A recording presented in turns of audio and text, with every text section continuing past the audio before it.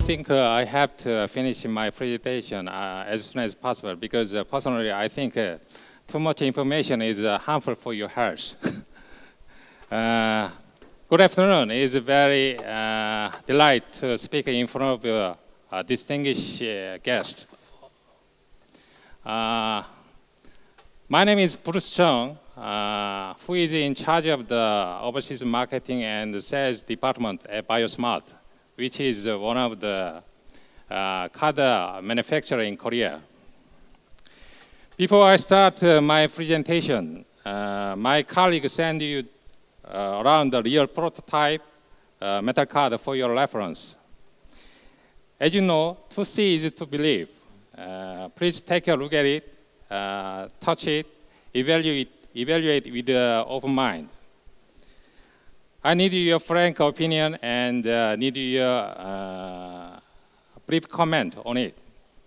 Your outspoken statements will be great uh, to make a right metal card uh, that fulfill market requirement.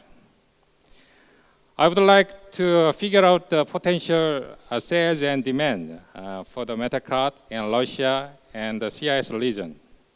One is the dual card, and the other one is copper card. Uh, I'm happy uh, to introduce you innovative card products created from the deep knowledge of uh, printing technique and uh, constant research into the new materials.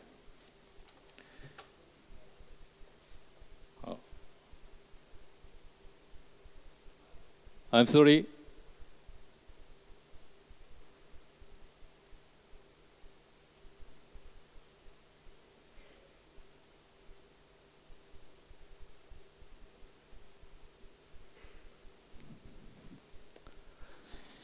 Uh, please feel free to uh, our booth number 20 uh, if you uh, if you need further uh, clarification or if you are not clear about uh, something.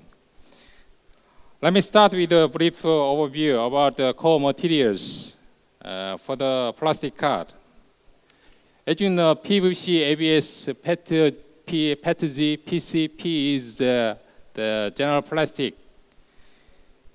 And uh, plastic have been enjoying a good reputation uh, in terms of flexibility, uh, durability, and uh, cost effectiveness.